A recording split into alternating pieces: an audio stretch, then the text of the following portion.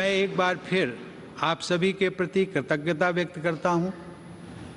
आप सबके साथ काम करने का मेरा अनुभव अविस्मरणीय रहा है आप सबने संसद के अंदर और बाहर देश की जनता के हित से जुड़े अनेक कार्य किए हैं इसके लिए मैं आप सबको साधुवाद देता हूँ। अपने कार्यकाल के दौरान मैंने आप सबके साथ विभिन्न आयोजनों में विचारों का आदान प्रदान किया है। मैं समय समय पर सांसदों के तथा अन्य क्षेत्रों में कार्यरत लोगों के अनेक प्रतिनिधि मंडलों से भी मुलाकात करता रहा हूँ।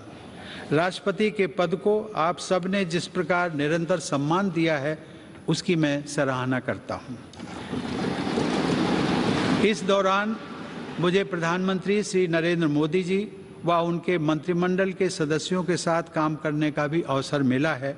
उन सबने मुझे जो विशेष सम्मान दिया है, उसके लिए मैं उन सभी को धन्यवाद देता मैं उपराष्ट्रपति जी श्री एम वेंकैया नायडू को उनके सतत सहयोग के लिए धन्यवाद देता हूँ।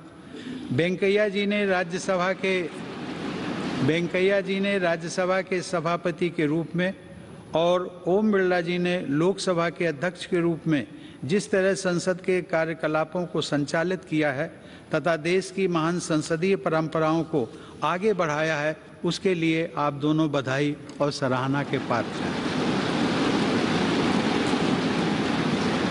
मुझे राज्यों के राज्यपालों व मुख्यमंत्रियों तथा केंद्र शासित प्रदेशों के उपराज्यपालों व प्रशासकों से भी पूरा सहयोग मिलता रहा है। उन सबके प्रति भी मैं आभार व्यक्त करता हूँ। मुझे विश्वास है कि आप सभी सांसदगण, हमारे सभी देशवासियों, विशेष रूप से जो विकास यात्रा में पीछे रह गए हैं, उनकी सेवा करने के लिए हर संभव प्रयास करते रहेंगे। साथ ही आप सब हमारे महान संविधान के अनुरूप सर्वोच्च लोकतांत्रिक परंपराओं को और भी मज़बूत बनाएँगे। मेरी शुभकामना है कि आप सब समाज व राष्ट्र को और अधिक मज़बूत बनाने के अपने प्रयासों में सफलता प्राप्त करें। धन्यवाद। जय हिंद।